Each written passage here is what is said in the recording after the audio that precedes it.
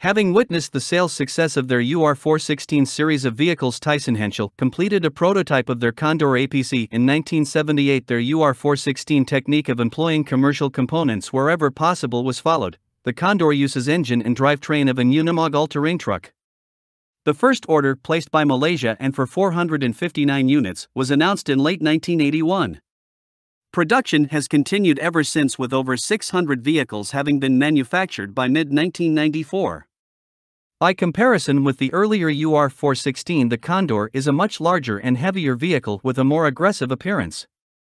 It is also fully amphibious, being propelled in the water by a steerable propeller under the hull. The ballistic protection is also improved, and there is more internal space for either troops, up to 12, or supplies. The internal layout has also been revised, with the driver seated well forward next to the engine, which is located on the right hand side of the hull. The vehicle commander is seated behind the driver, with access through a roof hatch to a weapon station which may be protected by a small turret. Optional weapon mountings include a 20mm cannon with a coaxial 7.62mm machine gun, while some of the troops carried can fire their personal weapons through weapon ports in the upper hull sides. Some APCs produced for the Malaysian contract have the 20mm cannon one man turret. There is also an armored personnel carrier version, fitted with two turret mounted 7.62mm machine guns.